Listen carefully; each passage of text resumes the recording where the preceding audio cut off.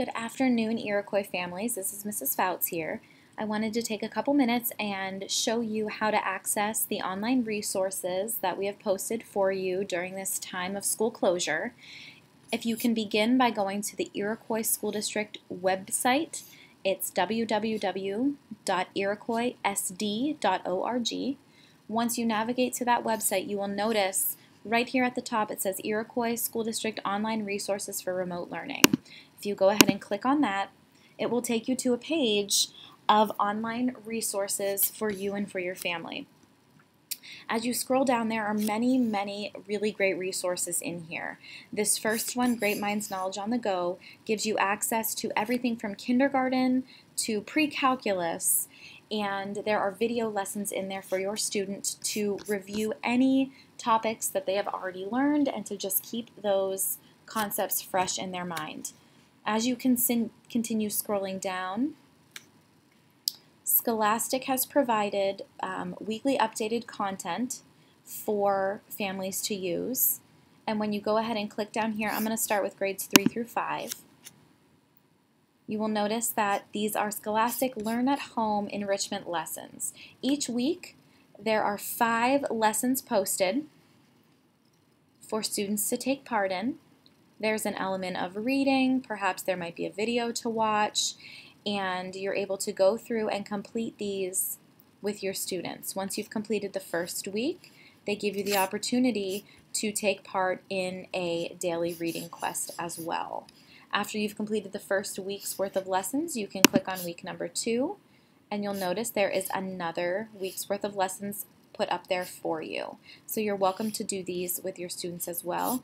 Again, they are broken down by pre-K and kindergarten, first and second grade, grades 3 through 5, and then grades 6 through 9. When you continue scrolling down, you'll see that the Tumble Book Library is also available for you. You can choose a subject, and then once you log in, you have access to a variety of electronic books for your students as well. There is an audiobook cloud where students can download and listen to some of their favorite titles as well. The next resource listed for you is Clever.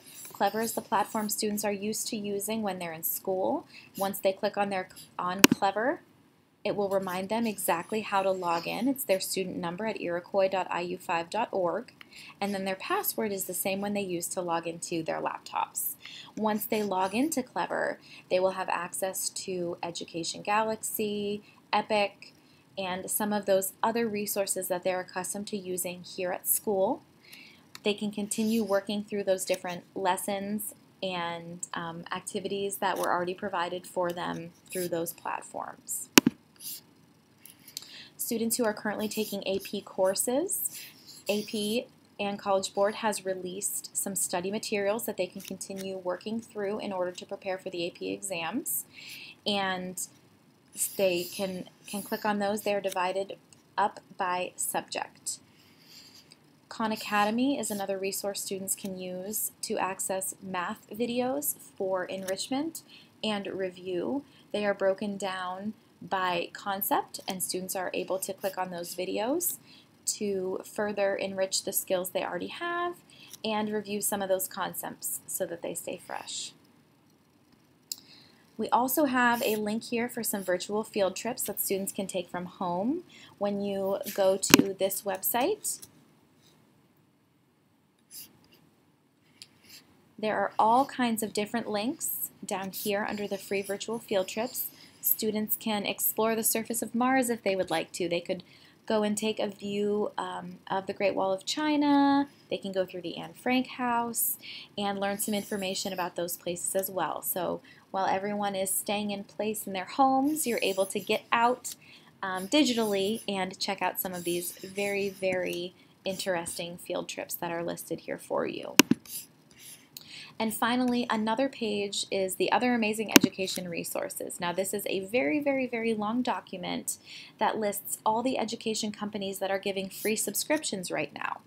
They are broken down for you by grade and age group, so you can go ahead and look through here and see what might be applicable for you and for your family. You can then click right on the link if it's something that interests you. If you're not quite sure what 12 museum virtual tours might be, there is a description here that shows you exactly what you will find through this website. And as you can see, um, it starts with the number 12, and if I scroll down just even a little bit, I'm still in the A's. So there are a lot of really, really great education companies that are offering free resources for you at this point. So I hope this has been helpful for you. If you have any questions about any of these resources, I'm going to scroll back up through for you. Please reach out to either the high school or the elementary school. We are happy to answer questions that you might have, and we hope that you're able to just keep those brains fresh during this time of school closure.